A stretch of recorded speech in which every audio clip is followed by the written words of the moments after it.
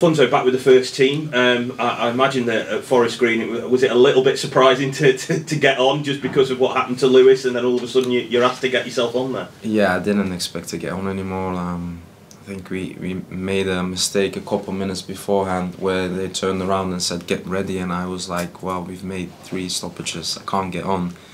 And then Cass went down shortly after, so. Um, yeah, that was a good thing. It was it's, it's good that he's um, he's okay now and uh, it worked out.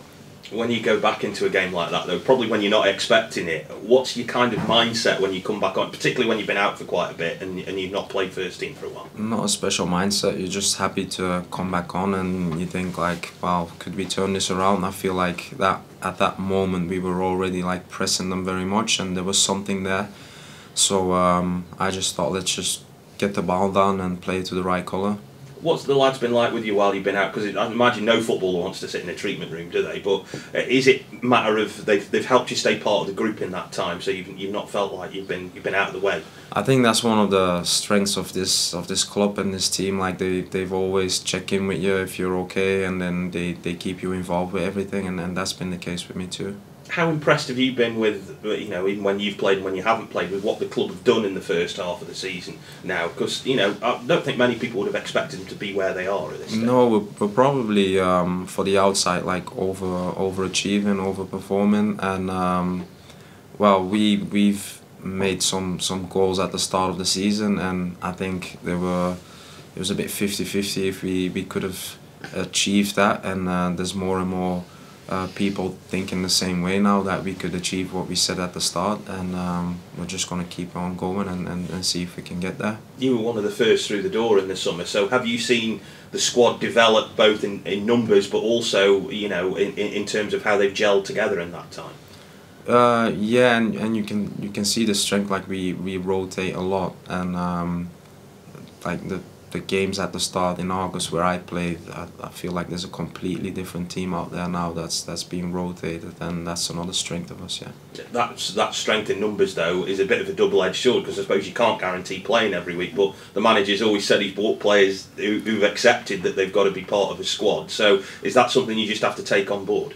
Well, it's easier to take on board if you're like three points off the top six. If you're bottom of the table, you want you just want to get in and you think like, oh, I'm better than him. But if if you're doing well as a team, like that also makes you look better, even if you're not playing a bit of an irony that you got injured at Peterborough, and you know we're coming up to, to Peterborough again, and you may well be, be back involved in that. So, when that passage of time goes by as a player, is that something that ever enters your head? Do You know, just think to yourself, well, it's you know the last corresponding fixture when I got I got injured. So, not really. I, I it's been a long time, but to me, it didn't really feel like a long time. Like I've I've barely had days off. I've just been working in and out, so I've been too tired to be even like think like oh it's it's been so long and um, yeah I think that's also the thing that I've, I've just been enjoying myself here. So then you like time flies if, if you're having fun right?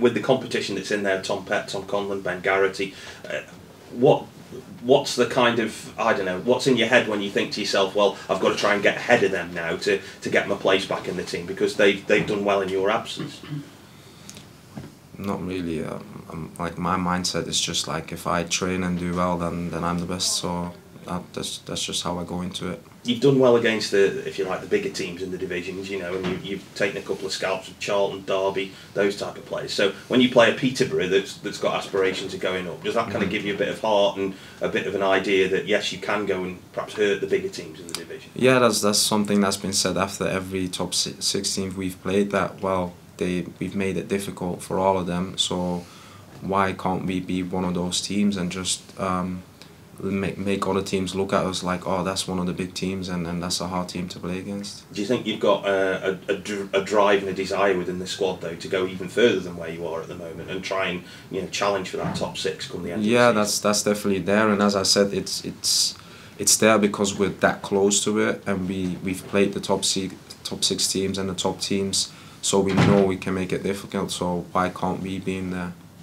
Thank you. Obviously, uh, Peterborough, of course, yo-yo team in many, many ways, but they want to get back to where they were originally. But they fell off the pace a bit, haven't they, so far this season? Mm-hmm. Started very well, but they fell off the pace. New manage, management bounce, although he's been there before, so probably know what to expect from Darren Ferguson's team, won't you? Um, no, but we we see or we the staff sees every opponent as a process so they they do their work and they prepare for it and we just uh, train it on it the whole week and then just um, see what we get out of it on the weekend How important is that the staff and the coaches prepare you for a game like that, even if you don't know the opposition? Their research is top drawer, isn't it? Uh, very important because um, we're a hard-working team. We're probably not the, the best footballing team. So if you are very good on the ball and, and, and have 80% possession, then you can go out from your own strength. But we're a defending team more um, based on our hard work. So it is important that we know what they do on the ball and how we can hurt them. And that's shown in games, hasn't it, really? Because you've gone more than the 90 minutes, 110 minutes of time. That's important, isn't it? Yeah, and that's that's credit to the staff and to the players. Like um, first of all, it starts with the staff doing their work um, throughout the week and, and, and way before that, like looking into them and also keeping the players fit and and the, and the players being open to it, to putting like the meters in and the hard work and also sitting down for those meetings.